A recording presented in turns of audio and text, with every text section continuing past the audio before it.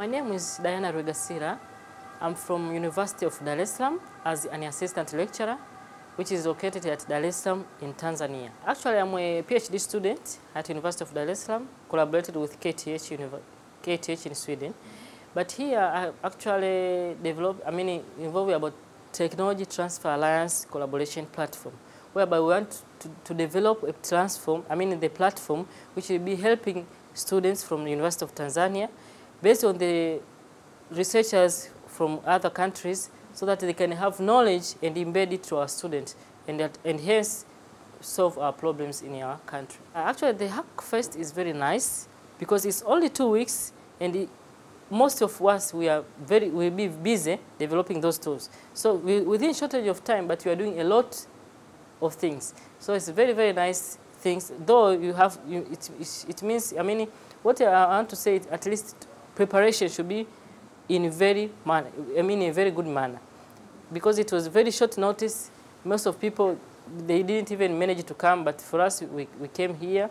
So based on the time, it was very short message, but the, the, the product is very nice. My case study, because it is technology transfer alliance platform, collaboration transform. So basically it will reduce the gap because bec- between developing countries and developed countries. Because there are some of the problems in our country but here they are not even the problem. So those these web technologies will reduce the gap and hence will be at in the same level.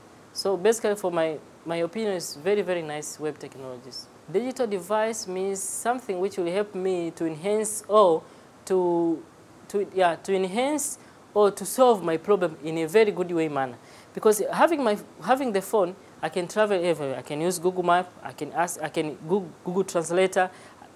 It can help me to translate and then to talk to somebody. So digital device is very very nice, and having this one, you can solve a lot. You can. There's no need of moving from one place to another. You can use mobile phone to send money. You can use mobile phone to call your friend, rather than walking. So digital device is very very nice. As an assistant lecturer, I need to be educated now and now and now. So having these tools and technologies and this hackerface or whatever, it improves my skills and as well as even the, the life standards because you have to move here, knows how the world is changing, have expertise. They teach you. They taught. I mean, they teach you, gain experience, and then when you go to your country, you embed those skills you get there. So this, for me, is very very nice. Those tools raised by my projects uh, will be well well implemented to my project. And I have to appreciate a lot because those people who have developed those tools, they have helped, they helped us a lot because it's just a matter of using those tools based on your based on your requirements, you just embed and then use them. So for that case, I have to appreciate them a lot. And they say, for the coming to the, for the coming maybe hackerfest, it's better for even even though we are not coming, we will not be able to come, but at least to share using that technology technology transfer platform which I'm going to develop it so that you can have those technology.